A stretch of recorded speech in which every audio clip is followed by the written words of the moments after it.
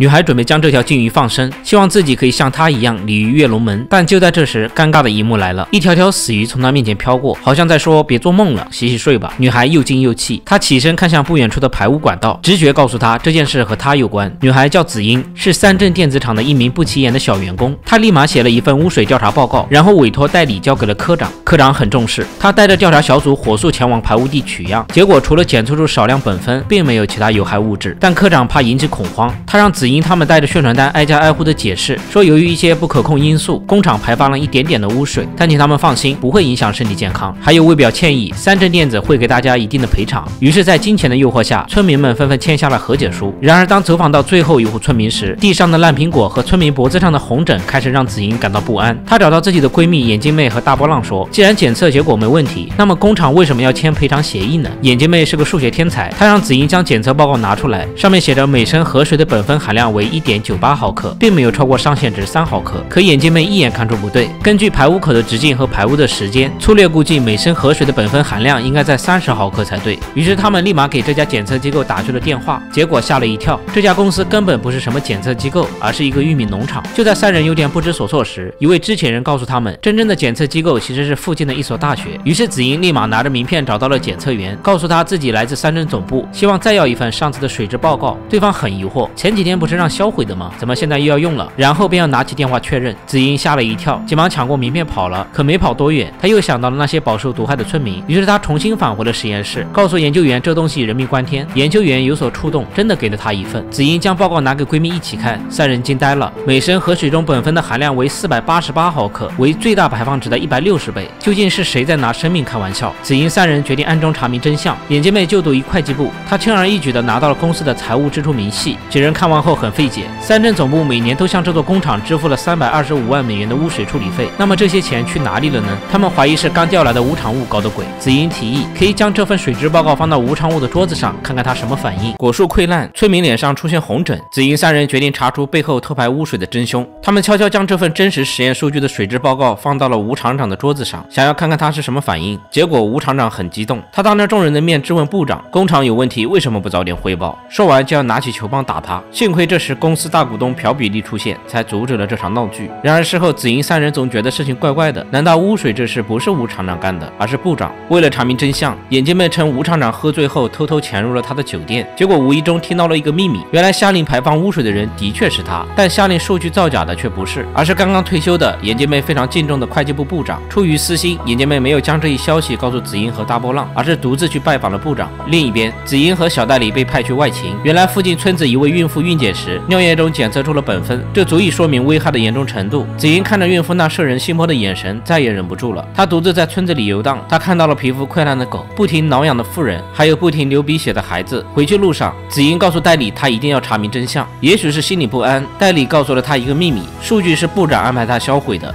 还有工厂每到下雨就会往河里排放污水，现在还是这样做的。这天大雨过后，村民闻到下水道传来恶臭，事情再也瞒不住了，新闻也随后曝光。部长立马召开紧急会议，让大家面对媒体采访时尽可能的说不知道，还说村民的怒气是暂时的。他让科长带头跪在厂门口给愤怒的村民扔臭鸡蛋，眼看事情就要不了了之，子英三人找到了一名律师，律师说。村民们都已经签过调解书了，已经无法挽回了。子英听完更愧疚了，谅解书是他让村民签的。这时律师又说出了另一种可能，就是如果能够证实三镇集团知道污水超标的事实，却有组织的进行掩盖的话，事情还有挽回的一丝可能。于是子英和大波浪重新振作起来，跟踪生产部长。结果惊讶的发现，生产部长只是一条走狗，他暗中和大股东勾结。原来大股东那天斥责吴厂长是在帮部长解围。子英二人感到很绝望。就在这时，眼镜妹跑了过来，说会计部老部长退休前帮生产部部长统计过赔偿金，对方给的资料中不小心加了一张计算苯酚排放的草稿纸，这说明生产部长和社长早就知道工厂非法排放苯酚的事情。子英三人将此事汇报给了吴厂长，告诉他能救公司的人就他了。吴厂长带他们去了社长的办公室，在社长的房间里找到了一个保险柜。大波浪将透明膜盖在键盘上，得到了四个数字。眼镜妹将四个数字排列组合，得到了所有可能的密码。一次尝试后，成功打开了保险柜，里面是朴比利犯罪的证据。原来朴比利是一个商业间谍，二十世纪九十年代。在的韩国，大量外资涌入，他们干起了吞并的勾当。他先是买通生产部长，纵容酗酒无能的吴厂长擅离职守，为的就是让三正集团出现各种问题，到时候股价下跌，国际资本就可以趁机完成收购，实现吞并。紫银三人对污染事件的揭发，无意中加快了社长的计划。一旦三正集团被收购，集团将会裁员百分之六十。察觉到事情的严重后，紫银直接将此事汇报给了会长，会长很愤怒，当初让朴比利当社长，就是为了让公司与国际化接轨，摆脱家族产业的诟病。没想到到头来却是引狼入室。会长告诉朴比利，他被解雇了。朴比利却说已经晚了，他已经完成了公司股份的重组，现在占股比例百分之三十一，为公司的实际负责人，享有绝对的说话权。眼看大家即将被裁员，会长此时也是无能为力。这时紫英站了出来，既然是股份公司，那就是谁股份大，谁有绝对的说话权。他和股民们说明利益后，让大家联合起来阻止收购，最终以百分之零点一的微弱优势抢回了公司的说话权。吴厂长朴比利等六名高管涉嫌违反环保法被抓捕。